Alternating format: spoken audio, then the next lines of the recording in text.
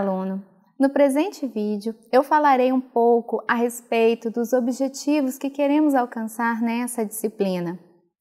É importante sabermos o objetivo em tudo o que fazemos, pois em tudo o que fazemos queremos chegar a um fim concreto, não é?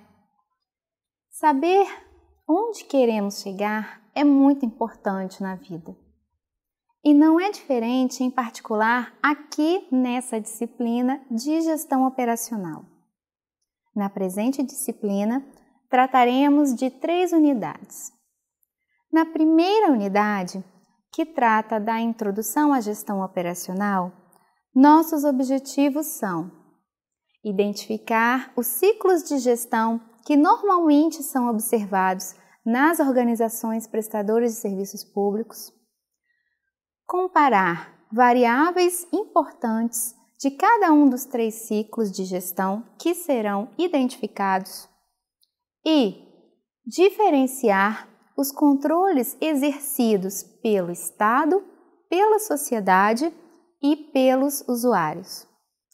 Já na segunda unidade, que trata de gestões operacionais críticas, nossos objetivos são uniformizar entendimentos de serviços públicos, de processos e de projetos no âmbito da gestão operacional, diferenciar as principais características da gestão de processos e da gestão de projetos e respectivas contribuições para o cumprimento dos planos de ação e para a institucionalização da prestação de serviços públicos.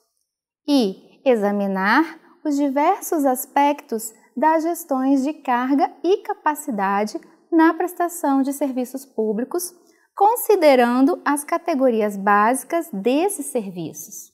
E por fim, na terceira unidade, que trata do controle operacional e dos sistemas de avaliação, nossos objetivos são diferenciar as diversas categorias de sistemas de avaliação que fornecem informações para o controle operacional, considerando seus múltiplos objetivos.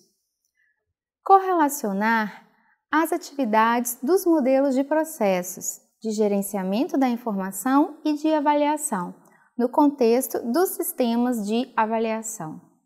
E identificar os diversos elementos que implementam sistemas de avaliação, em particular os órgãos da estrutura estatal, seus mecanismos e instrumentos. Bem, aluno, espero que ao final dessa disciplina, quando todos esses objetivos estiverem sido alcançados por vocês, que tenha sido agregado mais conhecimento à sua formação nessa pós-graduação. Um forte abraço!